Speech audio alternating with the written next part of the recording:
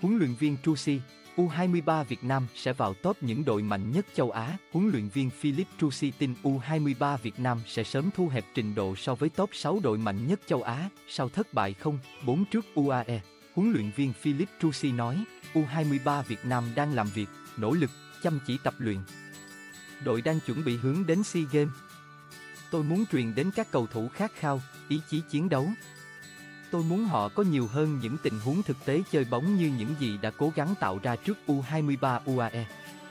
Các cầu thủ đã chơi hiệp 1 rất tốt. Từ hiệp 1 này, tôi muốn họ duy trì sự tự tin. Họ đã phản ứng rất tốt.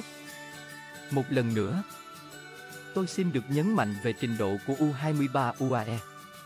Họ nằm trong top 6 đội mạnh nhất châu Á, nhưng chúng tôi cũng cho thấy mình có thể từng bước thu hẹp khoảng cách về trình độ. Những trận đấu thế này chứng minh cho tôi thấy rằng U23 Việt Nam có thể làm được điều đó trong một ngày không xa.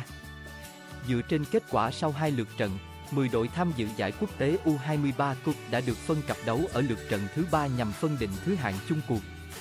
Theo đó, U23 Việt Nam xếp bét bảng nên đối đầu U23 Kyrgyzstan trong trận tranh hạng chính.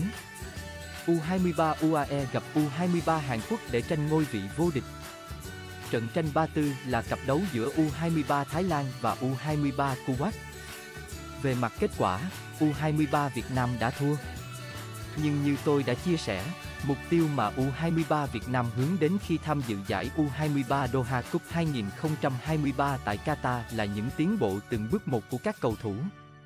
Và với những gì đã diễn ra trong trận đấu với U23 UAE, tôi có thể nói là hài lòng. Các học trò đã có nhiều cố gắng, ngay cả khi thua không 4 trước U23 UAE.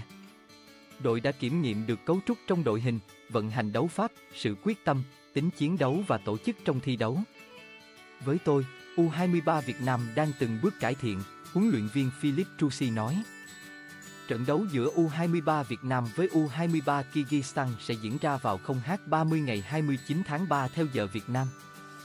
Đây cũng là trận đấu cuối cùng tại giải đấu nằm trong giai đoạn tập huấn thứ tư trong tháng 3 năm 2023 của U23 Việt Nam.